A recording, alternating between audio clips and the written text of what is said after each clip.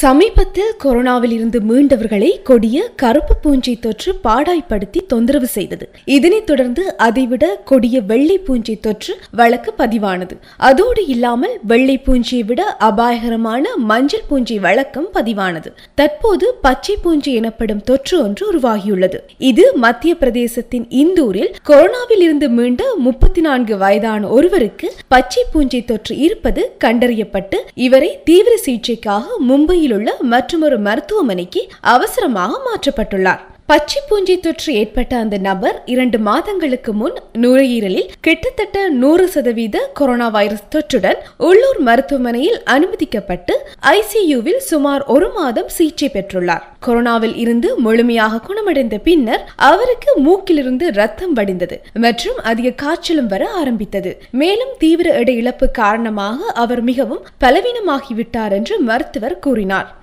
மேலும் இது குறித்து மார்பு நோய்களின் எச்ஓடி டாக்டர் ரவி தேசி கூறியதாவது கோவிட் நைன்டீனிலிருந்து மீண்ட அந்த நபருக்கு கொடிய கருப்பு பூஞ்சை தொற்று இருப்பதாக சந்தேகிக்கப்பட்டதால் ஒரு பரிசோதனை மேற்கொள்ளப்பட்டது. அந்த சோதனையில் கருப்பு பூஞ்சை தொற்றுக்கு பதிலாக பச்சை பூஞ்சை தொற்று இருப்பது கண்டறியப்பட்டது. இந்த பச்சை பூஞ்சியால் அவரது நுரையீரல் சைனஸ்கள் மற்றும் இரத்தத்தின் தொற்றால் பாதிக்கப்பட்டுள்ளது தெரியவந்தது என்றார். அத்தோடு கோவிட் நைன்டீனிலிருந்து மீண்டு வருபவர்களுக்கு பச்சை பூஞ்சை தொற்று மற்ற நோயாளிகளிடம் இருந்து வேறுபட்டதா என்பதை அறிய கூடுதல் ஆராய்ச்சி தேவைப்படுகிறது என்று கூறினார். எனவே இந்த காலகட்டங்களில் ஒவ்வொருவரும் மிகவும் அவதானமாக இருக்க வேண்டியது மிகவும் அவசியமானது என்று வலியுறுத்தியுள்ளார். அந்த வகையில் பச்சை பூஞ்சை என்றால் என்ன? அதன் அறிகுறிகள் என்ன? எப்படி பரவும்? இதனை தடுக்க என்ன வழிமுறைகள் உள்ளன என்பது பற்றி தெரிந்து கொள்வோம். பச்சை பூஞ்சி என்றால் என்ன? பச்சை பூஞ்சை தொற்று அஸ்பர்குலஸ் என்று அழைக்கப்படுகிறது. இது உட்புறத்திலும் வெளியிலும் வாழும் ஒரு பொதுவான பூஞ்சை. பெரும்பாலான சந்தர்ப்பங்களில் அஸ்பர்குலஸ்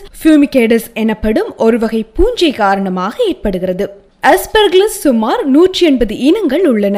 ஆனால் அவற்றில் நாற்பதுக்கும் குறைவானவை மனிதர்களில் தொற்று நோயை ஏற்படுத்துகின்றன. மனிதர்களுக்கு ஏற்படும் அஸ்பர்குலஸ் நோய் தொற்றுக்கு அஸ்பர்குலஸ் புளோமிகேடஸ் மிகவும் பொதுவான காரணம். இருப்பினும் பல்வேறு வகையான அஸ்பர்குலஸின் வெவ்வேறு அறிகுறிகளை கொண்டுள்ளன. இது எவ்வாறு பரவுகின்றது? ஆரோக்கியமான நோய் எதிர்ப்பு சக்தியை கொண்டவர்களுக்கு அஸ்பர்கிளஸ் தீங்கு விளைவிப்பதில்லை. இருப்பினும் பலவீனமான நோய் எதிர்ப்பு மண்டலம் உள்ளவர்கள் அஸ்பர்கிளஸின் பூஞ்சியை சுவாசித்தால் அது நுரையீரல் அல்லது சைனஸில் தொற்று நோயை ஏற்படுத்தி உடலில் மற்ற பகுதிகளுக்கும் பரவக்கூடும். அஸ்பர்கிளஸின் பூஞ்சை தொற்றுக்கு சிகிச்சை அளிக்கப்படாவிட்டால் அது நிமோனியாவை ஏற்படுத்தும். அஸ்பிரக்லஸ் தொற்று நோய் அல்ல மேலும் இது ஒரு ஒருவரிடமிருந்து மற்றவருக்கு பரவ முடியாது. பச்சை பூஞ்சை தொற்றின் அறிகுறிகள். மூச்சு திணறல் சுவாசிப்பதில் சிரமம் இருமல் காய்ச்சல் அரிய சந்தர்ப்பங்களில். பிற அறிகுறிகள் நெஞ்சு மற்றும் எலும்புகளில் வலி பார்ப்பதில் சிரமம் சிறுநீரில் ரத்தம் குறைவான சிறுநீர் கழிப்பு